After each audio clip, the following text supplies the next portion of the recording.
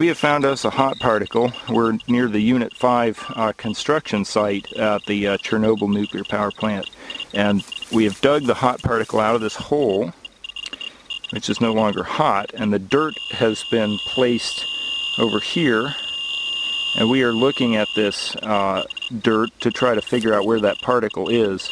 This is a CDV 700 energy compensated tube uh, with the window open at the moment so we can see beta particles and we're using it with a Ludlum 12 rate meter and uh, attempting to find that hot particle.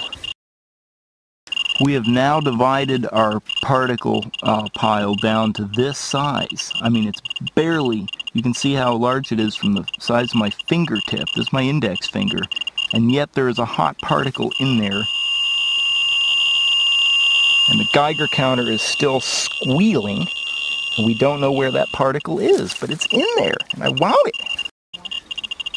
It's right here. It's that little black particle right there, which is absolutely tiny. My, my, my finger is even, that's my pinky, that's my last finger and on my left we hand. and yet we were hole. able to dig it out of the hole that's over here. We found it with a scintillator, and now we're uh, looking at it with a uh, Geiger counter and uh, that is that's very warm. Let me get a photo of it too, Carl. It's that one right.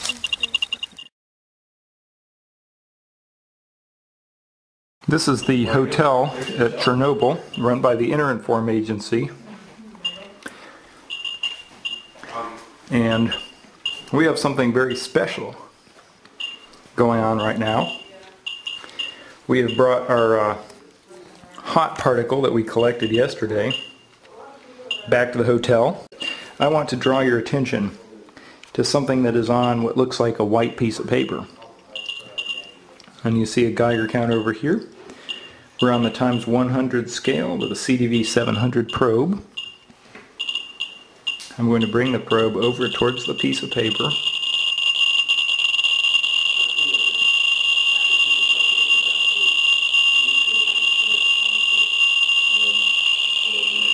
and we can see that number going up to almost 300 and or maybe like 32,000 counts per minute. And on a CDV 700 probe of course this means we're reading in the vicinity of uh, 50 maybe almost 60 milliroentgens per hour. And just so you see the tube again it's with the probe closed so this is gamma radiation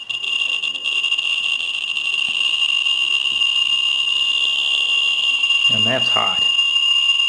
That's a very spicy particle. Now let's see what exactly it is that's making all of that radiation.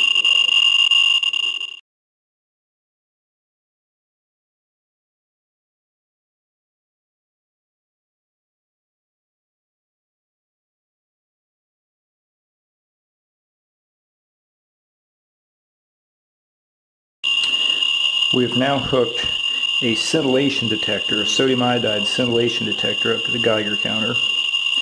You can see we have about maybe uh, in the vicinity of 100,000 counts per minute. We're on the top range. And we're some distance away from where our hot particle is. And our hot particle is here if you can't see it on the film. And now we've connected a computer sound card to one of the uh, middle stages of the amplifier on the front end of this Ludlum 12 Geiger counter and we are taking the pulses that are uh, generated in the scintillator and we're sending them to the computer. We're doing this in order to uh, categorize the pulses according to their magnitude and perform a rudimentary form of radiation spectroscopy using the computer. So in order to do this, I have a program called PRA written by Marek Dolleiser, and um, uh, there, that sounds better, in Australia. This is called PRA. And I'm going to acquire pulses. And we immediately see a pulse height spectrum coming into view in this picture. And I will zoom in to show the features of this spectrum. We can see a large peak here. This happens to be at 660 kilo electron volts and is associated with gamma rays from cesium-137. There is a continuum of Compton scattered gamma rays, including some backscattered gamma rays, also from the source. And there's a little bit of radiation and some other pulses that occur higher than the main peak. This is a very characteristic spectrum of cesium-137. So thanks for watching, and if you come to Chernobyl, I guarantee you'll have a good time. The accommodations are great, the place is beautiful, very relaxing, and yes, there are hot particles, and you can give your Geiger counter a real workout.